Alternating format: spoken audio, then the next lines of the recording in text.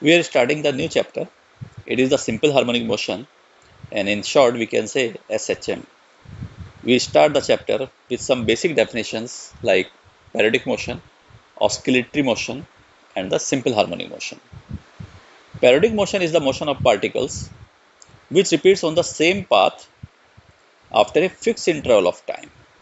And the example of the periodic motion is suppose uniform circular motion or in short we can say UCM.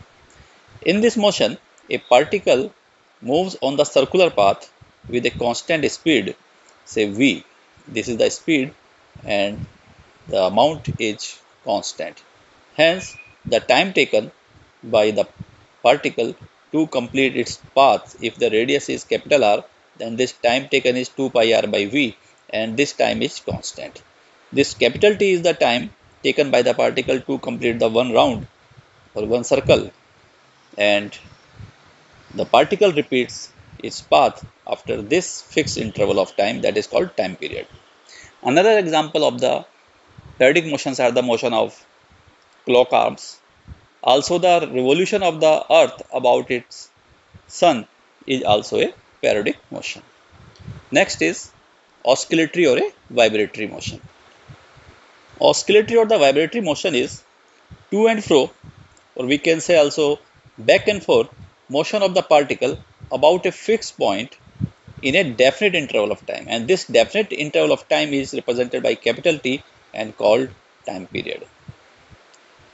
So if a particle is able to make the motion about a fixed point suppose this is a point O which is a fixed point and the particle moves about this fixed point to and fro with some extreme values say this is A and this is B then this motion is called the oscillatory motion or the vibratory motion.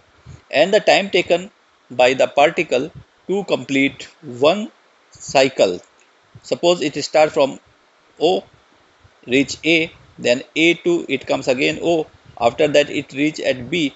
And after B it again reaches to the fixed point so it complete in this way this completes the one cycle and the time taken by the particle to complete this cycle is called the time period which we say it is a definite interval. Example of the oscillatory motion is the motion of a of the perpendicular foot of perpendicular on the diameter in a uniform circular motion. For example, if we consider that this is a circular motion of a particle and this is one of the diameter which passes through the center. This is the diameter. And this particle moves on the circle in anticlockwise direction.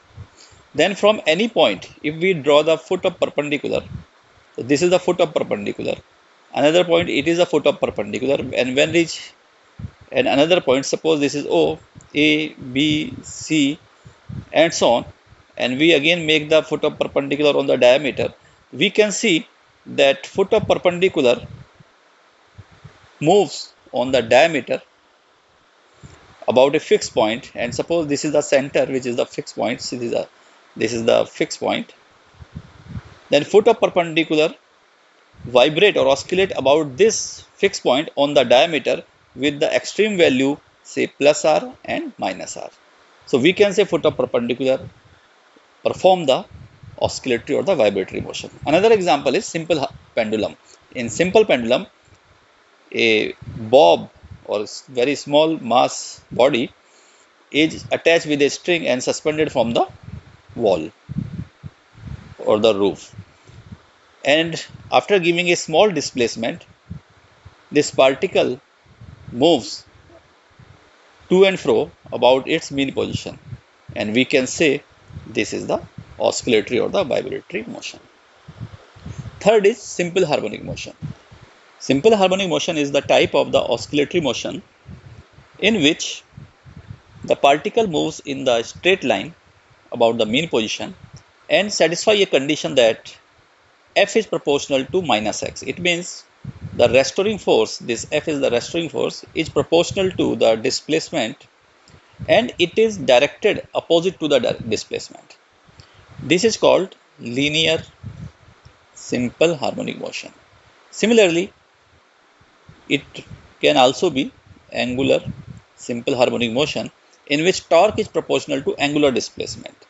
That means the restoring torque will be proportional to the displacement, angular displacement and direction is opposite to the displacement that means it have a tendency to restore the particle to its mean position.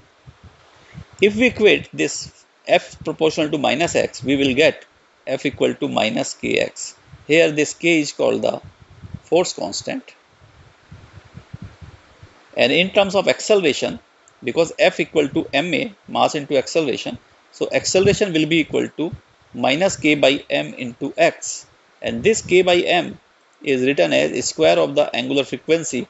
That means it can be written as minus omega square x. Therefore we can write omega square equal to k by m or omega equal to root k by m. Here from this formula we can calculate that frequency f equal to because omega equal to 2 pi f. Omega is angular frequency and f is the frequency and relation between omega and f is 2 pi f. So f can be written as 1 by 2 pi root k by m. And we know that time period is invert of the frequency. So time period will be 2 pi root m by k. These are important relations. We have to remember this